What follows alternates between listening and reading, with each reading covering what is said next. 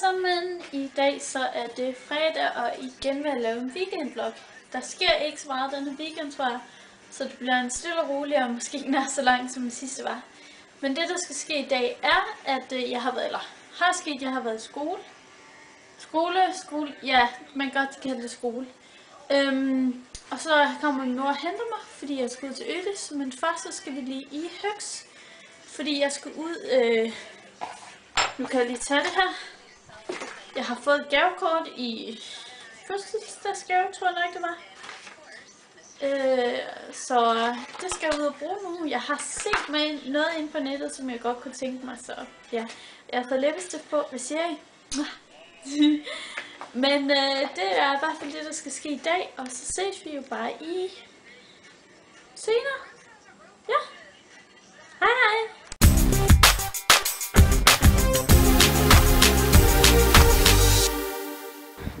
Er vi her. Uh, skal vi se, om de har det, som jeg godt vil have.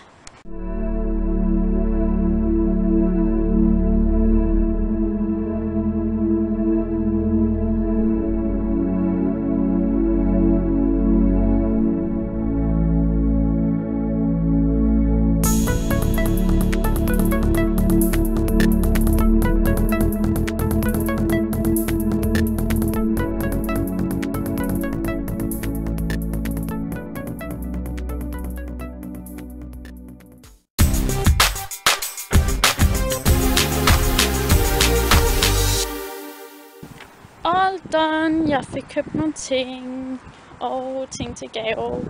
For jeg skal til en fødselsdag her om lidt over nu. Så ja, jeg skal nok lave en haul.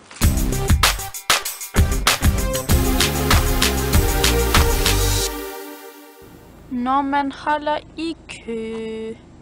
Virkelig fedt. Mærker jo nyen.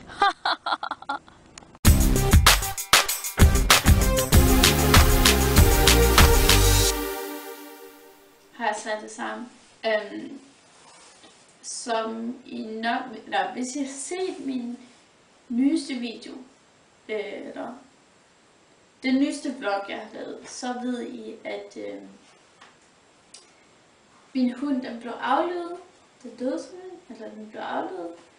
Øh, og det, det var rigtig svært. Øh, men det, jeg vil så snakke om, det er sådan, at når, når man ser mig sådan, så virker jeg til at være rigtig glad og være sådan, uh, og sådan er jeg også, men sådan er det altså også nogle gange, hvor jeg ikke er det, men hvor jeg sætter simpelthen en facade op og siger, nu skal jeg simpelthen være sådan. Øhm, og det på en måde så er det jo lidt forkert, fordi jeg vil jo godt, jeg vil godt vise den rigtige side af mig, hvordan jeg er. Men altså, den der facade op er jo bare, øh, det er jo humbug. Det er jo rent og skært svindel, øh, fordi jeg mistede min hund. Eller mist, jo, jeg mistede ham, sådan noget, men det var rigtig hårdt for mig. Fordi at der var mange ting, der sker nogle ting i min familie lige nu, som, ja, altså det er bare rigtig hårdt for mig, så det var lidt dråben det, at øh, vi fik afledt vores hund.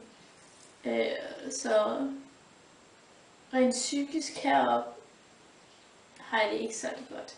Jeg prøver at være så positiv som muligt og være så glad som muligt, men nogle gange kan det godt være rigtig, rigtig svært. Så hvis jeg ikke virker til at være rigtig glad nogle gange, lige nu har jeg ikke, jeg har lige siddet og tydet lidt op på værelset sådan. Øhm, så, det, så det er bare for at vise en rigtig side om, altså, som Fie Larsen sagde, efter Materiality er med Awards, og hun vandt for bedste kommentar. For nu af vil jeg være ærlig. jeg er også et ærligt menneske, og jeg siger også og gøre ting, som jeg godt kan lide, og som jeg synes er ærligt. Øhm. Men ja, at sætte den der facade op, det er faktisk rigtig hårdt. Så. Men nok om det. Nu øh, er det stadigvæk fredag, og øh, ja, jeg tror, at vi skal se X-Factor finalen. Nå, det er også noget mærkeligt ting, så det jeg er mærkeligt, så Ja, I kender mig. Øhm, så det bliver rigtig sjovt. Vi drikke sodavand, spise flødeboller, fordi både min filmsøster og mig, vi har købt sådan en stor pakke flødeboller, uden at vi vidste, at den anden har købt det. Så min tvillingssøster har allerede spist en. så hun skal ikke have dårlig samvittighed over, over det. Men øh, det bliver rigtig hyggelig aften, tror jeg. Og så ses vi bare i næste klip, som måske bliver i morgen, eller måske senere i aften. Hvem ved? Så hej hej!